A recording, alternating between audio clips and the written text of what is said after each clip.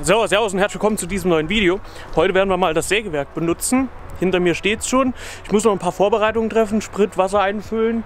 Ausgerichtet ist es bereits auf den Beinen und damit werden wir jetzt mal anfangen. Ich bin mal gespannt, wie gut es heute funktioniert. Also begleite mich doch gerne auf dem Weg, wie ich das Sägewerk zum ersten Mal benutze. Als erstes werde ich jetzt mal das Benzin reinfüllen und dann kommt noch ein bisschen Wasser rein, denn das brauchen wir ja für die Kühlung.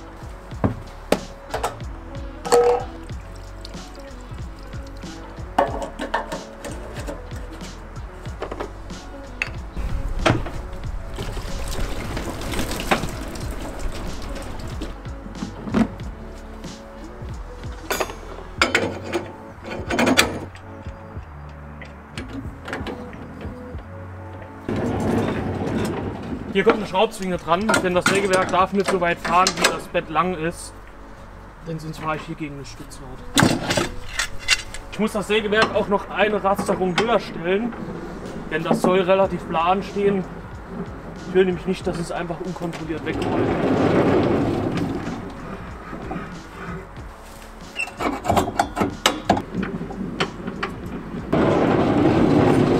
Das Teil jetzt einfach mal und schaue, ob das Dragging noch nach der Fahrt gleich geblieben ist. Wenn nicht, werde ich es merken und muss es nachstellen. Bevor wir jetzt so richtig mit dem Sägewerk loslegen können, gibt es noch eine klitzekleine Unterbrechung, denn Safdesk hat das alles heute mit unterstützt, mit möglich gemacht und deswegen bekommt er hierzu ein paar Informationen, was Safdesk eben alles so kann.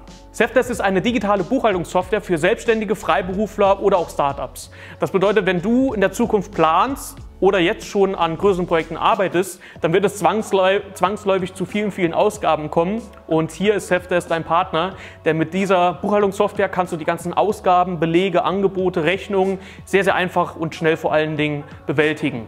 Wenn der Monat vorüber ist, das Quartal vorbei ist oder das Jahr schon wieder zu Ende ist, da habt ihr hier natürlich keine Schwierigkeiten mit eurem Steuerberater, denn ihr könnt einfach die ganzen Dateien exportieren und könnt das eurem Steuerberater zukommen lassen. Das bedeutet, ihr seid hier auch für die nächsten Jahre gut aufgestellt. Hier eine kleine Preview. Das ist ein Projekt, was aber nicht nur ein Projekt war. Hierfür musste ich auch ein Angebot erstellen, musste das im Nachhinein abändern und all diese Funktionen, die ihr halt generell braucht, wenn ihr selbstständig seid und Angebote zum Beispiel erstellen möchtet, habt ihr hier geboten und viele weitere Funktionen, die ich jetzt noch gar nicht erwähnt habe. Ihr habt natürlich auch die Möglichkeit, Safdesk mit eurem Smartphone zu benutzen. Ich benutze es größtenteils am Computer, aber ich benutze die App ganz gerne, wenn ich mal ältere Holzpreise mit den aktuellen Holzpreisen vergleiche, denn ich habe ja alle Belege eingescannt. Das bedeutet, ich habe die ganze Zeit, in der ich Safdesk schon benutze und da habe ich auch die Belege von meinem Holzlieferanten von 2019 in meinem Smartphone. Und da schauen wir einfach mal gerade kurz, was das Multiplex noch 2019 damals gekostet hat. 2019, schauen wir mal, was ich damals gekauft habe. 2019 habe ich zum Beispiel ganz, ganz viele Siebdruckplatten bestellt und die haben da jetzt in dem Fall, was habe ich denn da bestellt, 21,88 Quadratmeter und die haben um die 300 Euro gekostet. Und das sind halt eben Preise, die habe ich auch über die nächsten Jahre immer dabei, weil ich habe mein Smartphone ja immer dabei. Die Buchhaltungssoftware ist online. Das bedeutet, ihr habt eure ganzen Dokumente immer dabei und habt halt eben die Möglichkeit, schnell darauf zurückzugreifen. Die automatische Belegerfassung, integriertes Online-Banking oder die Schnittstelle zu eurem Steuerberater, das sind natürlich nur ein paar Funktionen, die Safdesk bietet. Wenn du weitere Informationen haben, haben möchtest, dann schau gerne mal in die Videobeschreibung. Dort kannst du auch ein bisschen Geld sparen, wenn du dir Safdesk dann halt eben holst. Ein riesen Dankeschön geht an die Firma Safdesk, die mich und dieses Projekt hier unterstützen. Und ein großes Dankeschön geht auch an dich, meinen Zuschauer. Und jetzt geht's mit dem Projekt weiter. Viel Spaß!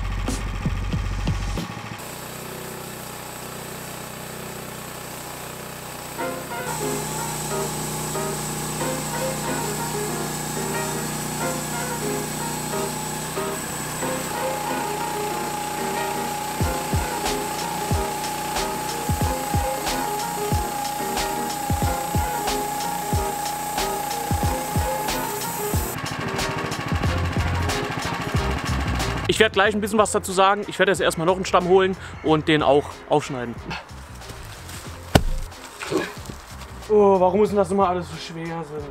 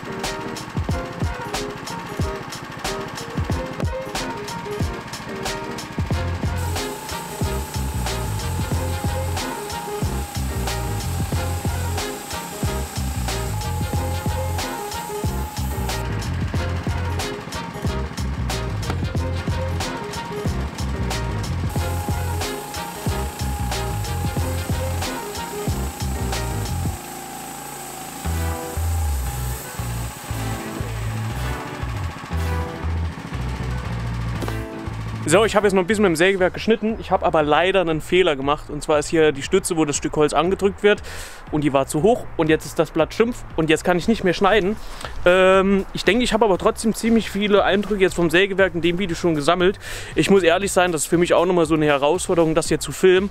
Weil ich habe nicht mein Mikro richtig dran und da vergisst man ganz, ganz schnell, wie viele Minuten ähm, man hier schon filmt. Deswegen sorry, wenn das heute ein bisschen ja, weniger Erklärung war. Ich zeige euch jetzt aber trotzdem mal, was ich geschnitten habe.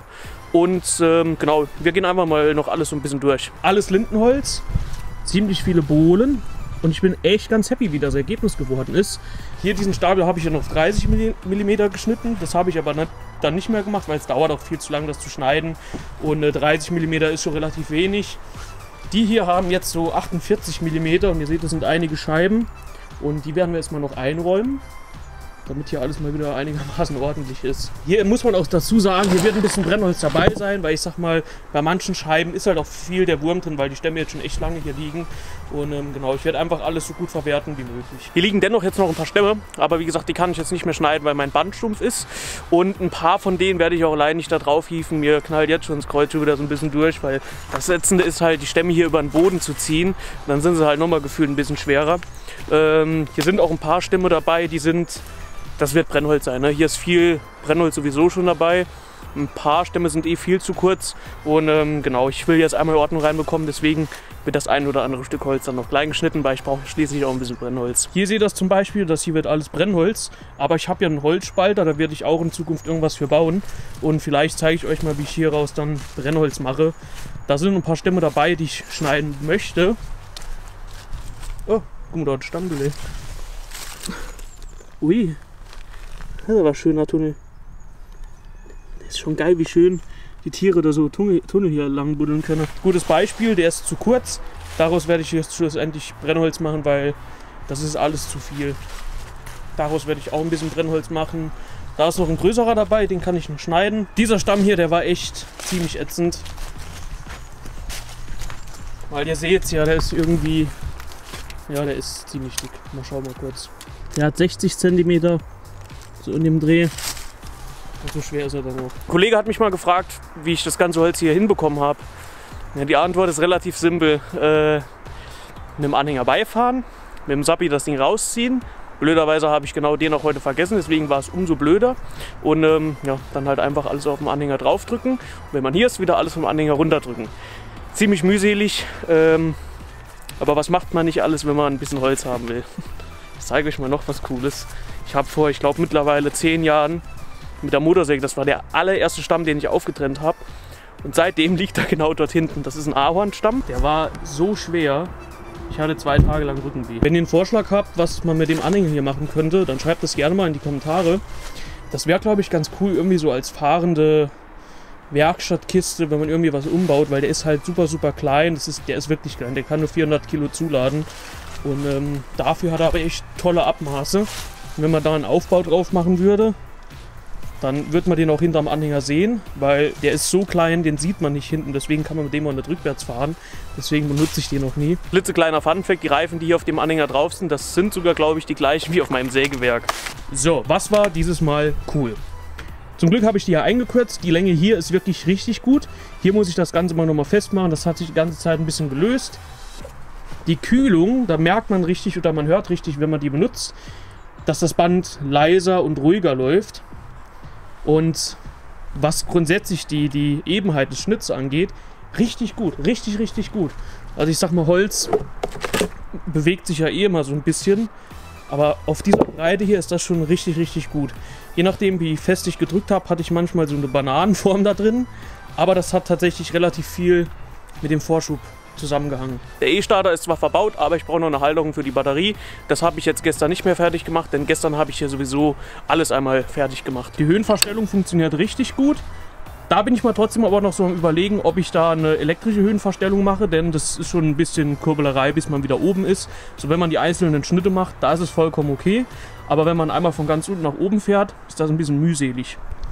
Das gleiche gilt mit dem Vorschub. Ich schaue mal, ob ich da vielleicht einen Seilvorschub noch ranknoddeln kann. Ich will das Ding aber nicht mehr in die Werkstatt stellen, weil jetzt werde ich einmal schön aufräumen in der Werkstatt und dann wird dort auch kein Platz mehr sein, dass das Sägewerk da monatelang drin steht. Aber vielleicht kann ich da irgendwas bauen, dass ich dann einfach das mitnehme, ein paar Löcher bohre und das dann montiere. So wie das Ganze hier steht, macht das wirklich einen sehr, sehr soliden Eindruck. Ich bin mal gespannt, wie das Ganze performt, wenn ich mal längere Stämme benutze. Ich werde mal schauen, vielleicht wird das dann auch ein eigenes Video, also sehr wahrscheinlich, ähm, weil ich sag mal, die Stücke, die ich jetzt geschnitten habe, sind ja nicht so mega praktisch. Das Holz sollte schon so 1,80 Meter oder 2,20 Meter lang sein. Das wäre eine gute Größe für das Sägewerk, was man dann noch danach gut hantieren kann. Wie gesagt, weil mein Ziel damit ist es halt zu arbeiten, ohne dass ich danach zwei Tage Kreuzweh habe. Das hier hat auch sehr gut alles funktioniert. Das Band ist nicht durchgedreht. Das hier hält alles noch sehr, sehr gut. Also unterm Strich ein Sägewerk, was auch sägt. Wir hatten sich das Blade Tracking so verhalten. Also normalerweise legt man da eine Schiene drauf und die muss dann halt eben auf einer Länge von zwei Metern, muss die ganz plan sein. Das habe ich nicht gemacht, weil ich keine Schiene habe. Und ich habe hier auch nicht so, so eine extrem hohe Bandspannung. Sie hat jetzt gut funktioniert tatsächlich, aber ich habe halt diese Einstellungsmethode nicht gewählt. Ich habe einfach geschaut, wenn der Schnitt am Schluss nach oben wandert, also ich bin ja vom Stamm runtergefahren und dann, wenn das Band so nach unten schnärt, weiß man ja, dass man nach oben geschnitten hat. Dann habe ich einfach das hier runtergestellt. Mit dieser Schraube kann ich das Profil hier nach unten drücken und somit zeigt das Band nicht mehr übertrieben gesehen in die Richtung, sondern in die Richtung. Und wenn am Schluss der Stamm nach oben verlaufen ist und ich das Ganze ein wenig nach unten gestellt habe, dann habe ich wirklich schön gerade geschnitten und das hat echt ziemlich gut funktioniert. Das Sägewerk steht sehr stabil. Also da gibt es auch überhaupt keine Bedenken. Ich bin, wie gesagt, als ich auch nach eben angekommen bin, habe ich das Band nicht eingestellt. Ich habe ein bisschen nachgezogen, was die Spannung angeht. Und dann das Tracking wegen der Spannung eingestellt. Aber als ich angekommen bin, hat es alles funktioniert. Also ich bin hier angekommen, habe das alles abgespannt und es hat funktioniert.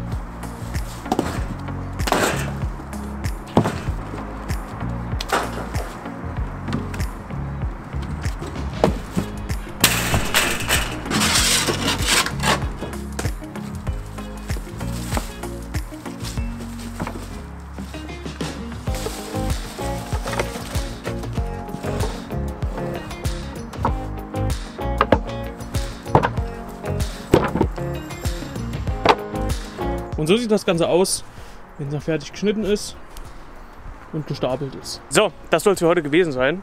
Schreibt gerne mal in die Kommentare, wie ihr das Sägewerk findet. Also ich bin echt mega, mega happy. Jetzt noch vielleicht ein paar Mini-Mini-Sachen verbessern und dann läuft das Ding richtig, richtig gut. Und dann brauche ich bald nur noch ein bisschen mehr Holz, um halt eben mehr Holz schneiden zu können. Hier verlinke ich dir jetzt noch zwei weitere Videos. Wünsche dir einen ganz tollen Tag und sage bis zum nächsten Video. Tschüss.